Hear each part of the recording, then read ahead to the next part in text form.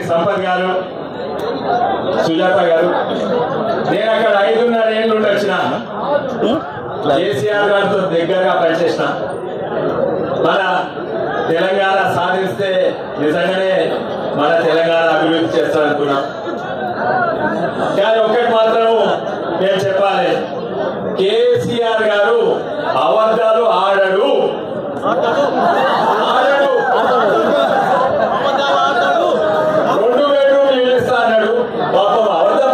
మర్చిపోయిండు దళితులు మర్చిపోయిండు మూడు ఎకరాల భూమి మర్చిపోయిండు ఈ అన్ని కూడా మర్చిపోయిండు బాబా ఒకటే. అంటే పనులు బాగున్నాయి. గొప్ప రైతు. ఎకరానికి అరవై లక్షలు తీస్తాడు. పాపం పంటలు చూసుకోవాలంటాడు ఇటేమో తెలంగాణ మొత్తం రాష్ట్రాన్ని చూసుకోవాలి మళ్ళా కుటుంబాన్ని చూసుకోవాలి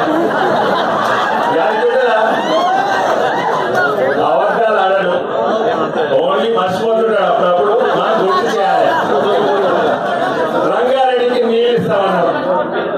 పాపం మర్చిపోయాడు అయితే గుర్తు చేస్తాం పాదయాత్ర పెడితే ఎందుకో ఏమనుకున్నాడో ఏమైతుందో అని అది పాదయాత్ర క్యాన్సిల్ చేసుకున్నాడు. కానీ సంతోషం ఆయన సొంతది కొల్లాపూర్లో పెట్టుకున్నాడు. ఇంకో చిన్న కథ చెప్పాలి మీకు. అప్పుడు